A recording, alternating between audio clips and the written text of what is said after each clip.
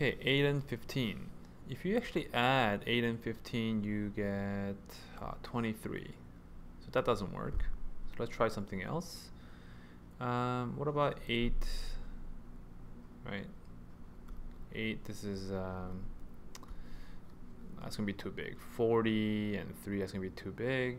3 times 8 is 24 and 5 won't work either. So let's try, you know, 4 and 2. This is, right, 20 and 6. That doesn't work. This is 10 and 12. That works.